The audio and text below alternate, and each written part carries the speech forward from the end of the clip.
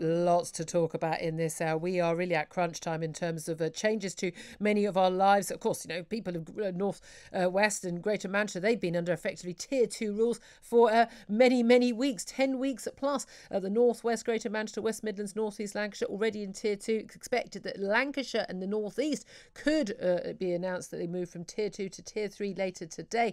I say Manchester still fighting that battle, but as I say, large parts of the country, particularly including London and Essex, moving into tier two as of tonight. So the rules were, were, were applied to you are going to be changing. Going to be talking more about all of that with comedian Dave Chawner, who's joining us all this morning. First up, though, let's talk to Shaun Bailey. He's the Conservative candidate for the Mayor of London and joins us now. Good morning to you, Shaun morning, Julian. Good morning to your listeners. Good morning. Right. Well, we did see, say Andy Burnham in Greater Manchester fighting hard against a move from tier two to tier three, saying even if that if there was the evidence for that, it needs far more financial support uh, for uh, the businesses forced to close and all those others affected. Um, and yet we've got the mayor of London, uh, also Labour Mayor Sadiq Khan virtually on his knees begging the government to move London into tier two. Um, do you agree with Sadiq Khan that London should be moved into a ban on household mixing indoors, at home, or in hospitality venues?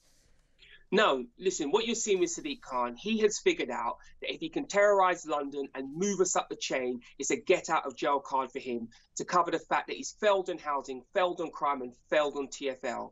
Londoners need London to be open because the thing is, if we can work, we should be trying to come back to work because this is about employment. This is about how we feed our families, not the fact that we have a mayor who's a coward who's trying to defend his career.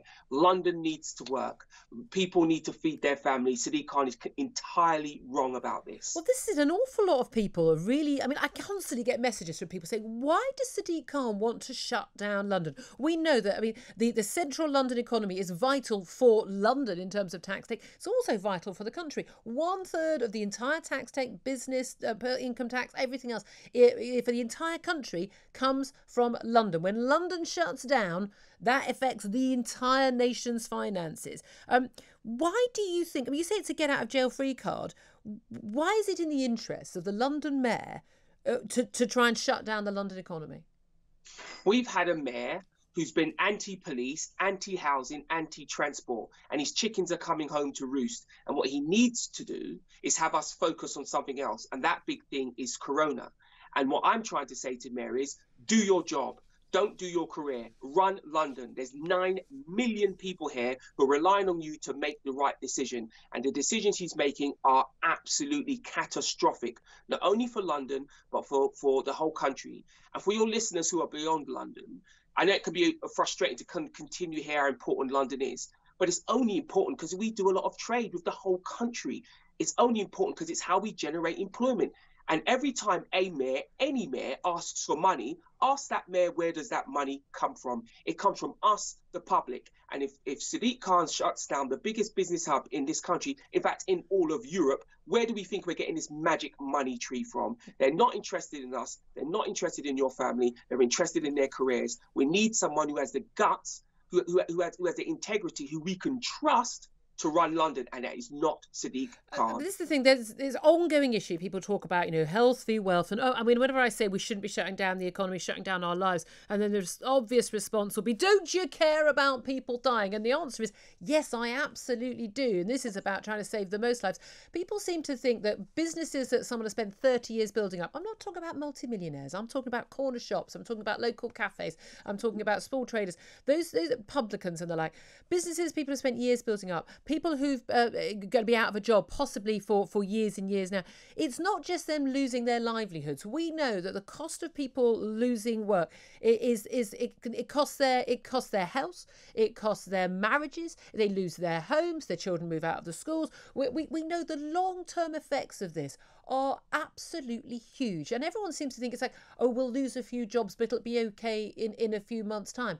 Uh, the reality is it's going to be huge it won't be okay. If you if you look at um, since um, uh, we've been losing basically three thousand jobs a day, and if we have this circuit breaker, that that process will accelerate. And I'd ask anybody listening to this, Labour voter or not, right? What would you do if you lose your job? How catastrophic would that be for your family? How stressful would that be? What do we? What would that do to your health? I, I bumped into a guy the other day, and he, and he looked me in the eye, and he said to me he has a toothache and he's had a toothache for the longest time. Yep. He can't get it dealt with. What are we doing about undiagnosed cancer? What are we doing about the mental health of our children? None of these things seem to be on Sadiq Khan's mind. The only thing that's on his mind is his career. And we'd be much more likely to support the man if he did the right thing by London.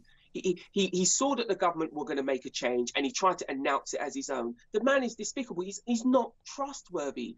Even if you even if you're not a Tory and you're listening to this, I get it, right? But we're dealing with a man now who's not trustworthy. So I, I, I, did think I did think his urge to jump on the telly after uh, well before we knew that we were going to actually officially get that uh, announcement and then to jump on the telly again after Andy Burnham was getting lots of praise from people I thought was quite extraordinary. Let me just read some of the stats to you in terms of London where he says that we should definitely move oh, we definitely move into tier two because we've got a crisis. Uh, can I point out that, that the average hospital admissions a day right now with COVID is 40?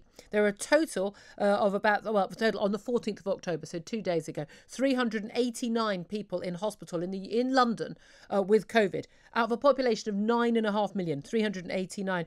Um, 505 admissions on the 23rd of March. That's what we had at the time, as opposed to 40. We are talking about barely, barely rising admissions right now, and 92% uh, lower than the peak. And uh, as of the uh, beginning of this month, so a couple of weeks ago, obviously this figures would have gone up slightly, but only slightly. We are talking about 1.5% of all hospital beds in the capital being occupied by COVID patients. We've got to get this in perspective, haven't we? we have to, and, and, and let's be clear. I support tier two because I'm trying to avoid a lockdown. A lockdown would be catastrophic to our children's education, to our employment prospects, and to our health.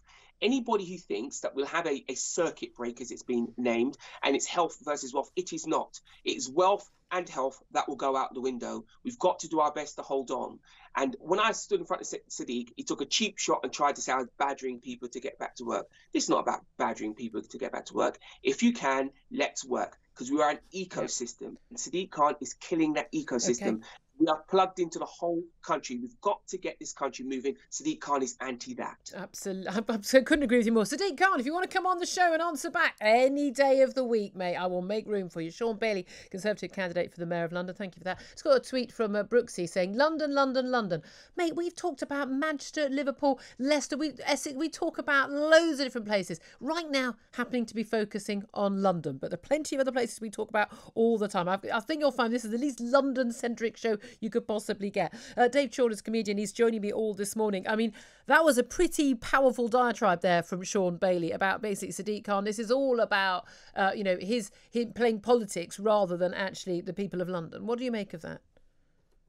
I, to be honest, I, I don't really know enough about Sadiq Khan. He seems all right. I'd, I'd buy a Hey, I voted for the guy. I voted for him.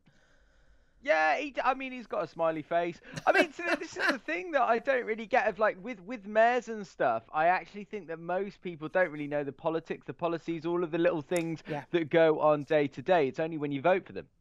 Yeah, indeed. I have to say, I'm, I'm not sure sure get my vote again. I thought best best of some not very great options last time round because some people are pointing out actually, given that we didn't have elections in May, local elections in May, the mandate was for four years. He hasn't even got a mandate, uh, as, as no one in local government has at the moment because they're they're over overdue that mandate. Um, again, there are just still some very big issues we need to discuss in terms of where we are in terms of the the, the, the risk of this uh, this uh, virus. Um, again, I've, I mention this guy all the time, but it's so worth mentioning. Professor Carl Heneghan, the uh, professor Professor of Evidence Based Medicine at the University of Oxford, has said there is no evidence uh, for a second lockdown, circuit breaker, whatever you want to call it. But also said that their evidence, very, very clear in terms of hospital COVID patients. Again, we're not seeing excess mortality. We are no, official statistics, not a matter of opinion. You can't disagree with that fact. We are not seeing excess mortality right now, uh, but also that 17.5% of all patients in hospital right now with COVID caught the virus in hospital.